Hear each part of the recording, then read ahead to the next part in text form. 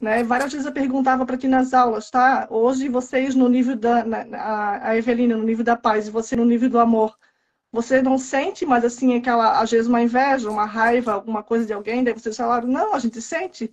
Só que é uma coisa que vem e já vai. É uma coisa que não fica, aquilo não fica te, te, perturbando a tua cabeça, como se fosse aquele pensamento que vem e fica ali, uhum. né? Recorrente, então, né? o que eu tô, eu tô percebendo, assim, o que eu percebi com essas doses já foi isso, assim.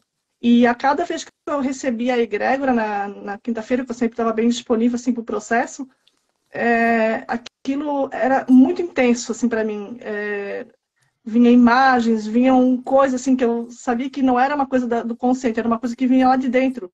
Que eu não conseguia às vezes de, determinar, denominar o que era aquilo, mas assim trazia muito uma, uma, uma explosão assim de sentimento, de emoções, assim que aquilo fazia uma limpeza dentro de mim. E, e, eu associo assim como se fosse na constelação, que quando a gente está lá olhando no, num campo, é, um tema, aquilo gera assim, um, mobiliza uma energia, né?